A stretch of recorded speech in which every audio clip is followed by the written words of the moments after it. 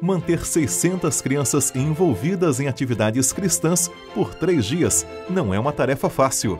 Mas isso aconteceu no nono acampamento de aventureiros da região centro-sul de Santa Catarina. Foi o Aventuri. Porque a igreja precisa investir nas crianças, elas são o futuro da igreja. Então esses eventos eles proporcionam momentos de alegria, momentos para eles pensarem e se firmarem cada vez mais em encontrar Jesus.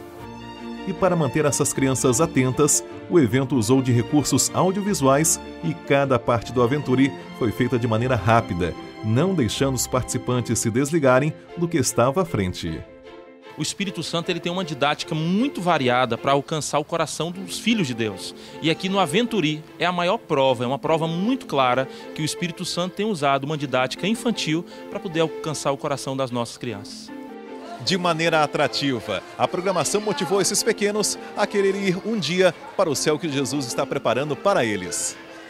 Eles aprenderam primeiramente sobre o céu atmosférico, com suas aves e aviões.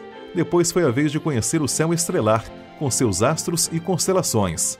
Mas foi no terceiro céu que o evento chegou ao seu ponto alto.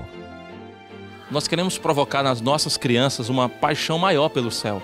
Uma paixão que ultrapasse o primeiro céu atmosférico, ultrapasse o segundo céu estrelar e que chegue até o terceiro céu, que é o grande paraíso de Deus. O Aventuri contou com a participação especial da cantora Sandra Leite e da professora Márcia Rampanelli, a tia Márcia, a apresentadora de um programa infantil na Rádio Novo Tempo de Florianópolis. É maravilhoso ver nossas crianças felizes ao ouvir sobre Jesus e o evento ainda contou com recreações, concursos bíblicos e gincanas.